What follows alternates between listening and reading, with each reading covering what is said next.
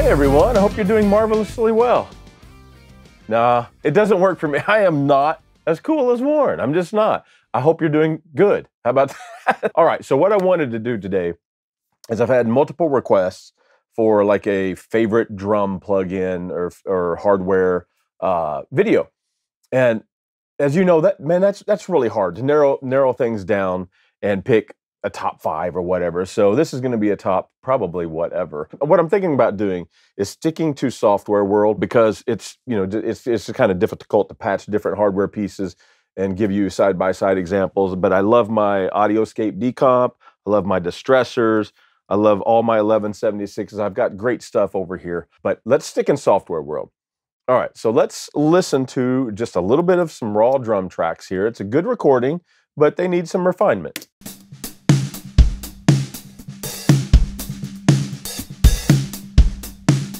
Okay, if I open a mix first thing in the morning and and my job is to make this a record my first go-to is the fact that i use a multi-bus method if you follow me you know this.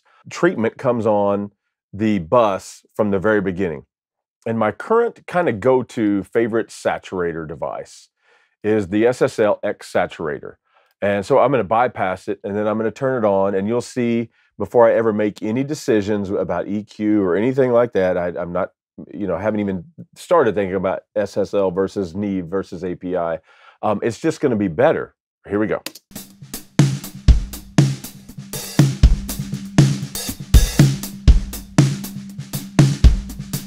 It got. I know it gets just a little bit louder. I've pulled back the gain a little bit, so I was trying to compensate for it uh, a little bit. But it's more than just volume. You could hear the impact of the drums, the the the the sizzle from the transformer, you know, adding some adding some punch, but also it's seeming like it adds added some air.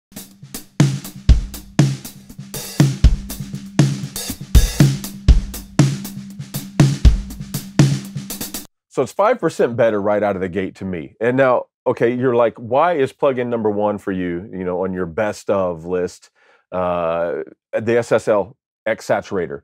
Well, first of all, there's several really great ones. Uh, True Iron from Kazrog. I know you can go down this list of like, well, this is the one I use, and there's not a right or, or wrong.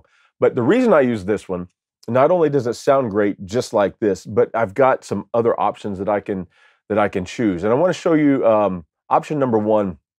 Here is called shape. If you look right here where I'm moving my mouse around, I can turn this thing counterclockwise and it kind of rounds or mellows the sound of the drums. It kind of pushes them further away from the listener.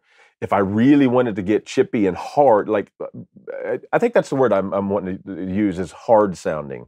Um, I can move it clockwise, and it gets harder. Just just more more impact, more more attack. So let me. I like it in right here where it's at. To be honest, that's my starting point on almost every song. But I want you to hear the variety that it is able to give you.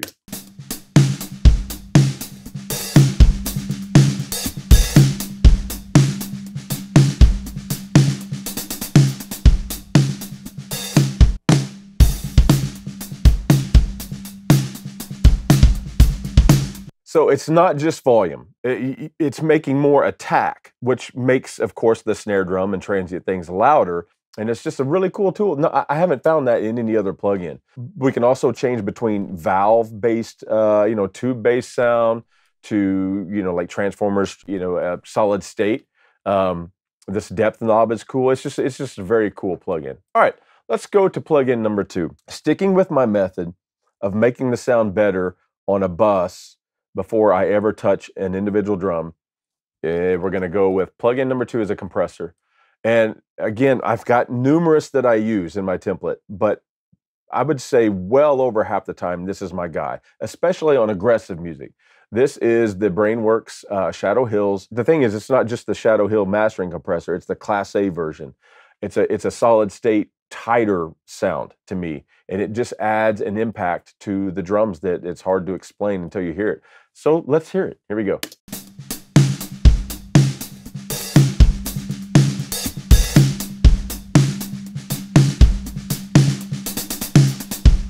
the attack of the kick, the attack of the snare got that much more important, right? Uh, but we're also controlling it. And and one thing I'll show you, if I remember to, is to come back at the end and as I dial in more proper drum tones on the individual tracks, this continually makes a bigger impact on the sound. Favorite number three, let's go down the line to an EQ. Uh, again, using the multi-bus method, this I'm hearing this stuff before I ever touch an individual fader. And I've got several that I really, really love, as well, I'm sure you guys do too. But there's something I keep coming back to on this particular plugin. And this is the Plugin Alliance Lindell, I think it's called the TE100, but I've got this little preset here. It, it's a tube-based unit that just sounds big. So I'm adding weight and size to the drums. It's a little difficult to understand when you first start using it. You select your frequency up here to, for the high frequency boost. You select your low frequency boost right here.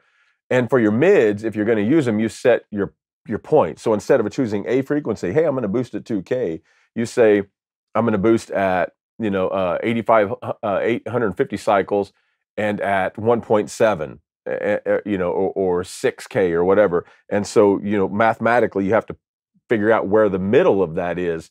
And, but that's figuring, you know, that's telling you how broad your, uh, your Q is. So it's, it's a little complex, but it's worth it. Uh, and I'll show you the difference. I'll uh, let a couple bars roll, then engage it.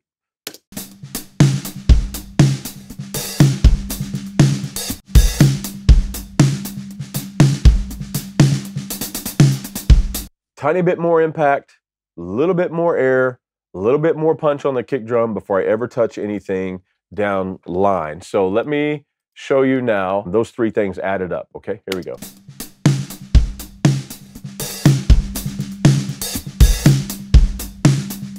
One more time, I'll bypass all three of them.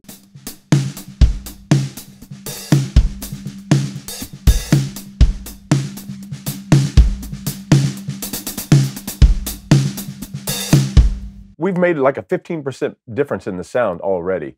Uh, another thing that I like to do, and I see that that unbypassed uh, while I was while I was working, is I like to control my drum bus on the drum bus prior to hitting my stereo master, meaning a, a, a, just set a limiter. And all I'm wanting it to do is capture a couple peaks here and there that would hit the stereo bus and negatively affect it. I'm not actually trying to limit so much as just a handful of things here and there. So it's really making no impact on the sound. You see, I, I, I use the transparent setting. All right, now let's dive into the individual channel strips. I am very much still a console guy. That's the way I came up and I I still have a fascination with solid state logic, API, and Neve. I mean, there's it, it, it's not just EQ; it's EQ with flavor, and it does something to the sound that a digital, you know, stock EQ or digital uh, vanilla uh, EQ, as versatile as they may be, just can't do. And the punch that I get, so product, I guess this is number five is SSL channel strips. Um, I get a gate, which is really usable on a lot of things. I get that channel strip compressor, which we'll we'll start diving in. Is such a it's just such a wonderful compressor. Uh, so over uh, underused, I think, under uh, appreciated by a lot of younger guys that never got to use the consoles. That that little compressor is amazing, but the punch of this EQ is just something magical. And uh, now this is the actual solid state logic brand channel strip 2. I've been using a lot of those because I have their UC1 and so I can use hands on, but I'm not going to use that right now uh, just so you know help you follow the mouse and kind of see kind of some of the things I'm doing. We'll dial in just a couple drums just to get the feel of the sound of the unit and then we'll switch to another product, okay? Here's the kick drum.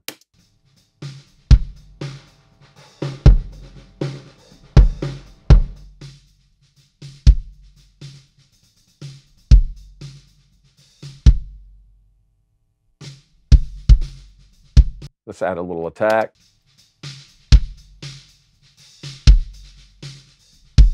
Let's cut out some of the sub lows up to about 30. That's a common thing for me on drums.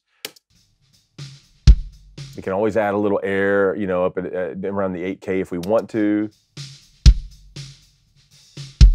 Okay, so before and after. And you see how fast and intuitive that was. That, that's what I love about channel strips, console channel strips.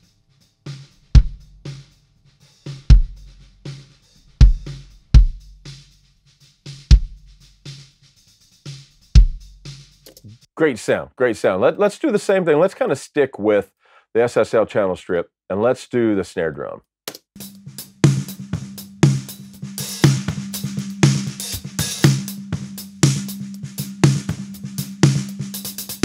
Okay, let's cut everything below about 80 cycles out.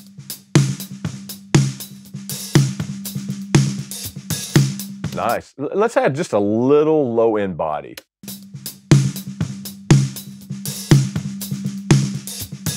Boom. I mean, we've already got a great sound. Now, the let, let, me dial into the channel strip compressor just for a minute. Basically, I kind of start at three to one. Uh, that's kind of my go-to. Fastest release possible, because on drums, I want it I want it to release and bring up the sustain. So that that's how we get the size. You know, where on vocals, a lot of times we're using a slower release on drums. Most of the time, fast release. Um, here we go.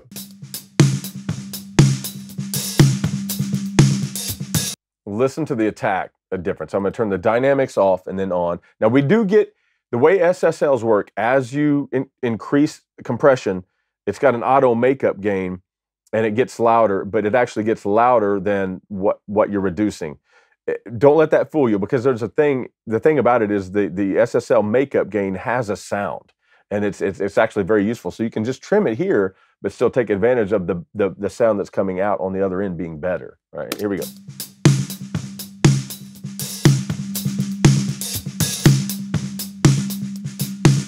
Pretty cool, isn't it? All right, so let's dial in a little gate, you know, just to get out some of the the ring of the hi hat and various things like that. So let's let's take it down to about 11 dB. Uh, this should this should work right here. Let's try it.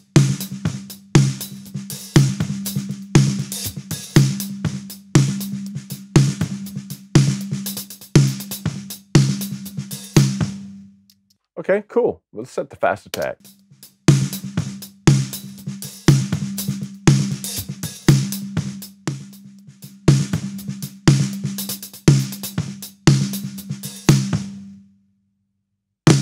Cool. To me, that's it's a, it's just a, a really a, a, great tool that I have all that you know in one plugin. Uh, that's what one of the things I love about channel strips. So let's go to the overheads and and let's dial in the SSL and do that thing that they do.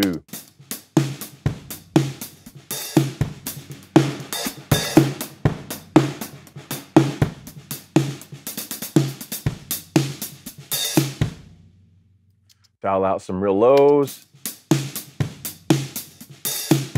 Pretty cool sound. All it's going to need is some fat on, on, overheads. I use the fast attack because the snare drum that's coming in, we want the body of it, but not as much of the attack because we're getting the attack on the close mic.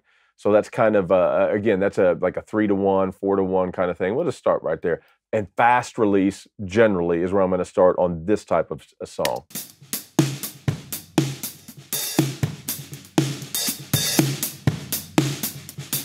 Okay, I went way overboard just so you could hear that compressor doing its thing. I love this channel strip compressor. Before and after.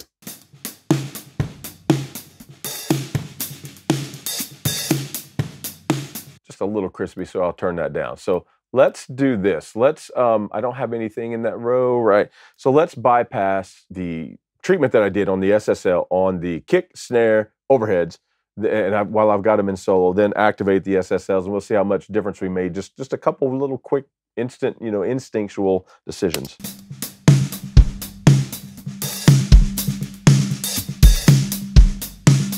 Whoa! I mean that that's to me that's the power of SSL.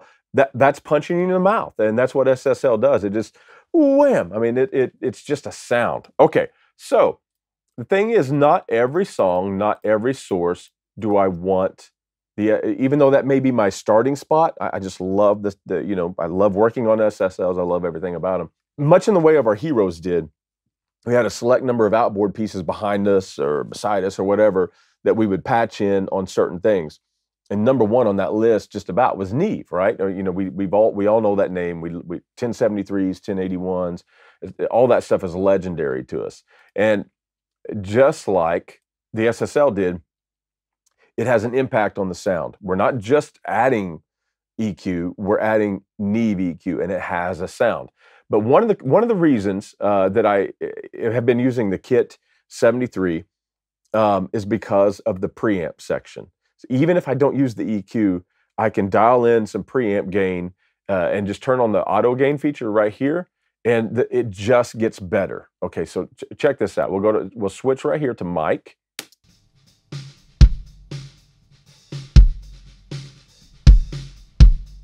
I mean, do you, hear that, right? Listen, listen, before and after, and it's it's just like we, we you know we're cutting it hotter, but we're not getting that negative consequence of, of more snare bleed coming in or distortion and that kind of a thing. Ready?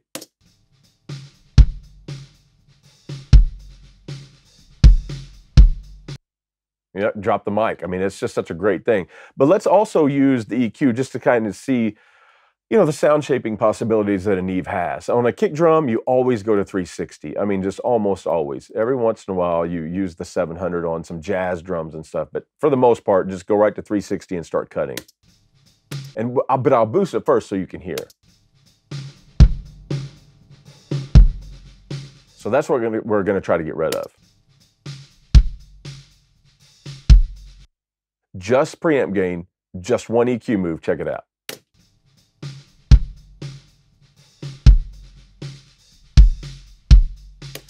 By getting rid of that that just that little muddy part there in the lower uh, you know in the lower mids, um, it sounds punchier on the low end and more it, the attack becomes more prominent. But let's still dial in a little bit more attack and let's also go down here to 60k or i'm sorry 60 cycles and add a little low end.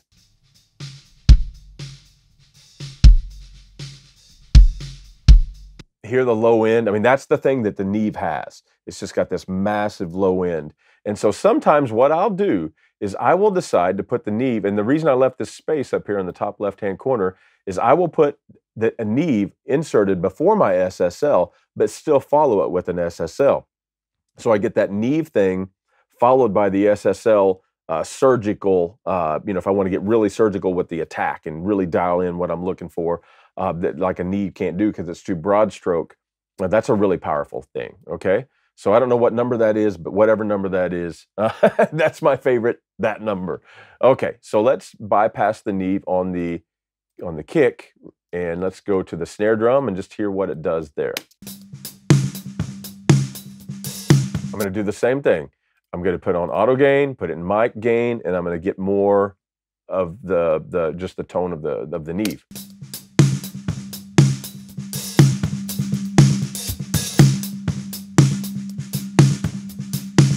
Let's hear the difference before and after with just the gain.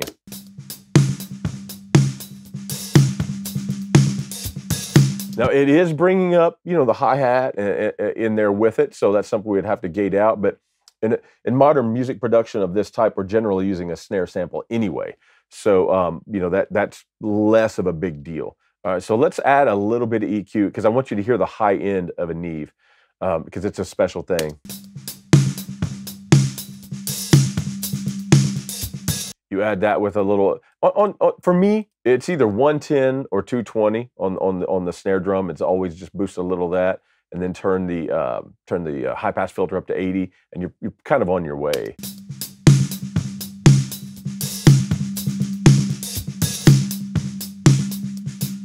Now you can go up to around 700. Sometimes I go to 700 cycles and cut a little bit, and let me show you what that sounds like this drum is not really a problem, but sometimes it is. I just take just a tiny bit of that out. And the other option on a Neve is to add attack. Instead of removing 700 cycles, you can add a little of this. That impact of the snare drum where it's, where it's hitting you, you know, add just a touch of that. And let me do a before and an after, okay?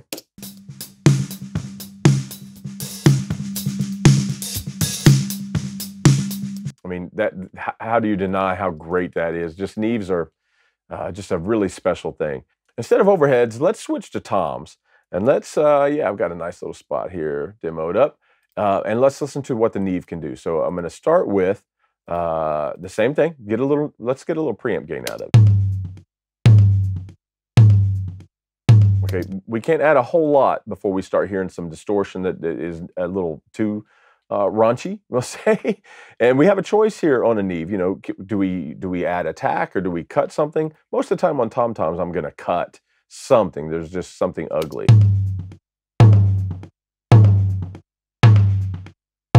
Let's let's get that uh, down just a little bit. Add some attack as well. Go to around 110. Add some bottom end. Go to 80 and get rid of that. And I bet you uh, that right there sounds pretty good. A little too much bottom end.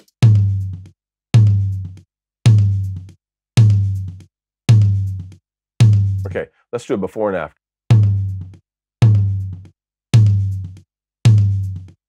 Well, I want to. I'm just going to copy those settings over to the other tom-tom, and I'm going to take it off of mute, and we'll listen. Okay, and here's those tom-toms without any Neve love.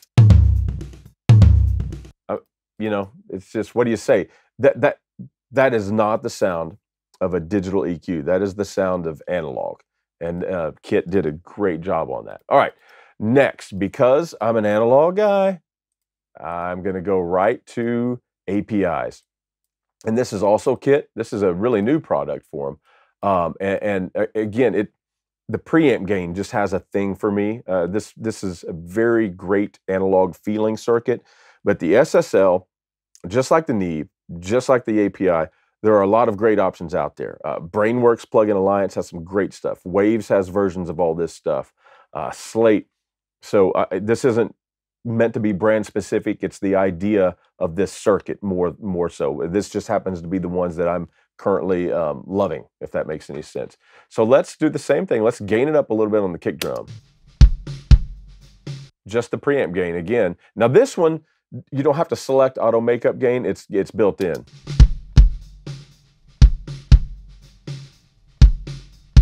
Okay, it's it's it's only that much better, but it's better. So I, I you know I want to take advantage of that. All right, so let's start dialing in. I love a 550A and a 550B, um, but I'm going to choose the B just because it'll be most like the the uh, SSL. So we have you know uh, the ability to add attack as well as cut something. Let's cut uh, about 250, let, uh, 240, whatever that is. Let, let's try cutting that. That. Let's cut that out.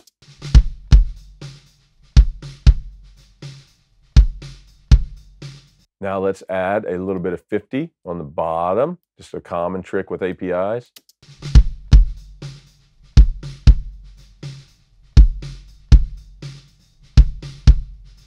Let's add a little attack at, uh, let's go to about 3K. I think that's what we did on the API, I mean on the SSL.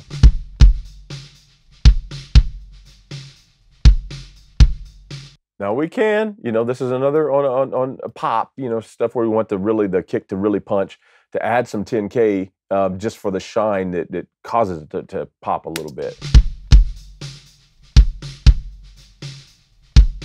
That's cool. Let's do it before and after.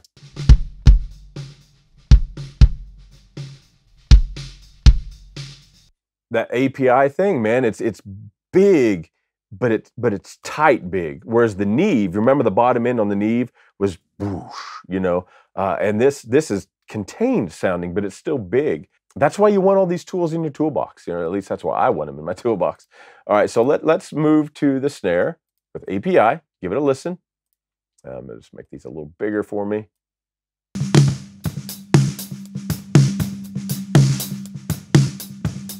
Stop right about there. And let's add um, the high pass filter up to about 80 or so. I'm to add some. I'm to add some snare impact. I'm to start at 3K, but I may go up to five.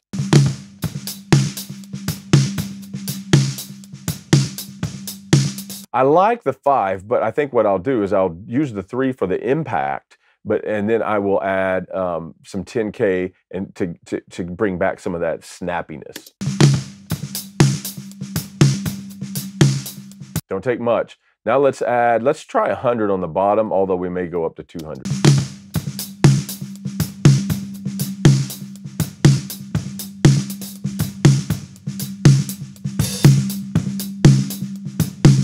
I, feel like I'm liking the 200, uh, even though on the Neve I liked the 110. Same thing, let's do a before and after.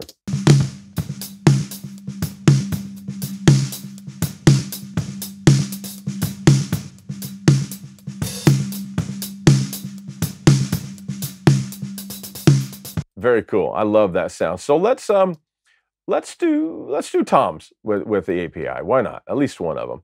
And let me find a spot where they are working together. Right there. Put my looper on.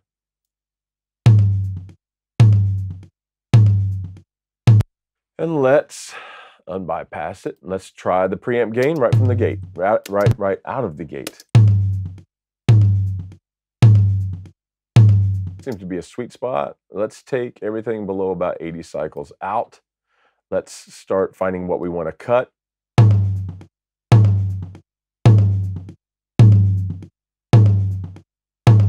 There's some head flap right around 700 cycles that I don't like. Some something in the tuning that you know that's just an ugly spot. One thing I'm going to tell you about an API EQ is that it's proportional. So as you cut, it's not it's not moving up and down like the Neve did. It's going like this. It's getting deeper and, and, and narrower. So you can go pretty drastic on an API and it still sounds good, you know? So a little that ugly is gone. So now let's start adding the good. Let's go to about 5K. Now let's add a little 100, 100 cycles on the bottom for some punch.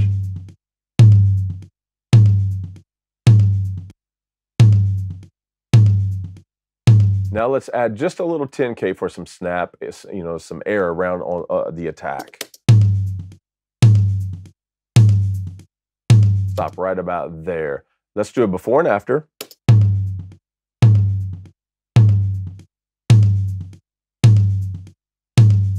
Okay, cool. But you, you hear how tight? The Neve, it sounded huge. On the uh, API, it sounds tight, you know, focused, uh, which both options are great. So let's do a before and after on that.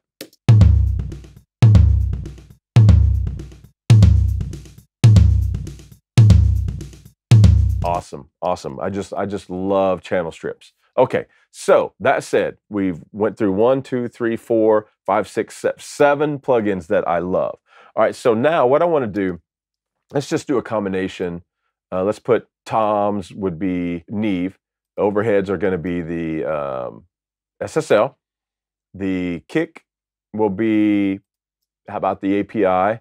And the snare will be SSL. Let's do that. And let's see what we have going right now.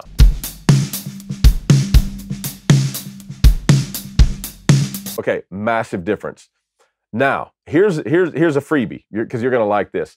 My next favorite plugin is an 1176.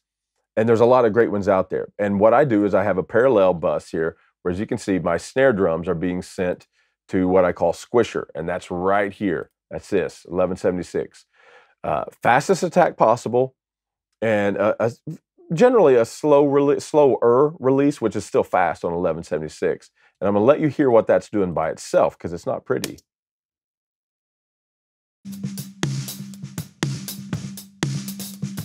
But if I add that parallel compression to the snare, uh, either just the snare or the toms and the snare or the snare and the toms and a little bit of kick, I get more impact as well as sustain. Check this out.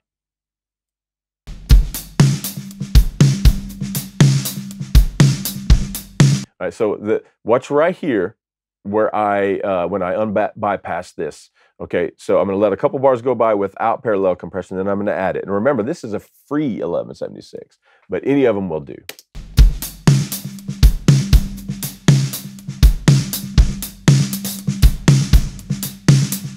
That's hard not to love, right? Okay, I've got one last plug-in, and that is music like this, and in many modern genres, where all the time where samples are just a part of it.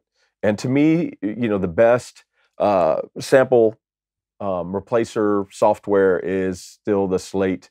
Uh, it just it, it's accurate. I've had others that that I love the uh, certain things about, but then I have to go in and you know kind of line up some of the places where it missed. And this this just always gets it right, which gets me working faster. But what I can do here is I've loaded up a bunch of presets that I love. I can turn on my my trigger track and I can just mute, uh, you know, one and then listen to the next one. It's just fast for me to turn the snare on and find the one. I can load up like seven of them at a time in a preset and find the one that matches the sound I'm, I'm looking for. Like that one does. That's a killer. What is that? That's a mahogany five and a half inch drum. So let's just hear the difference. I'll mute the sample then I'll let it, uh, I'll bypass it so you can hear the difference.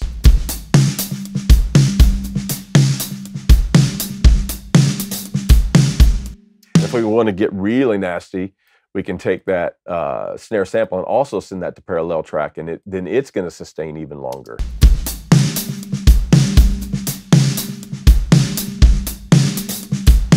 All right, guys. So that's just a little bit of my my method, my thinking, and maybe eight ten. I don't even know how many plugins that was that I'm currently relying on really heavily. And at that point, you know, one of them we talked about earlier, but at this point is when I'm going to turn on the the the limiter, the SSL limiter here, and kind of and I'll kind of show you what I'm doing with it.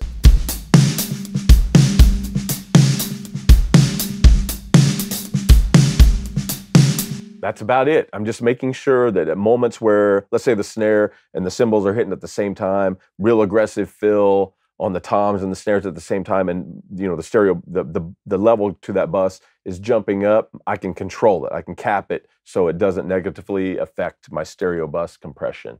Guys, that's it. Thank you so much for watching. These are my favorite drum plugins currently. Ask me a month from now, and we'll see. Happy mixing, guys.